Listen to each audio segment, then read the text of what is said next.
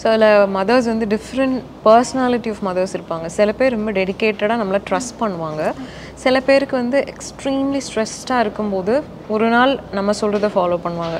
எதுவும் work out ஆகலை. So வேறு யாராவது லாக்டேஷன் கன்சல்டன்ட் இருக்காங்களா? அவங்கள போய் பார்ப்போம். பத்து பேர்கிட்ட போவாங்க. இது வந்து பாடி இப்படி இப்படி பண்ணுறதுக்குள்ளே எல்லாம் மாற்ற முடியாது.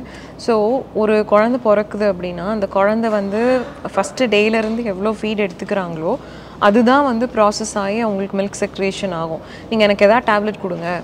வேறு எதாவது கொடுங்க. எனக்கு இன்ஜெக்ஷன்ஸ் கொடுங்க. வேறு ஏதாவது பண்ணி எனக்கு உடனே மில்க் வருவீங்க.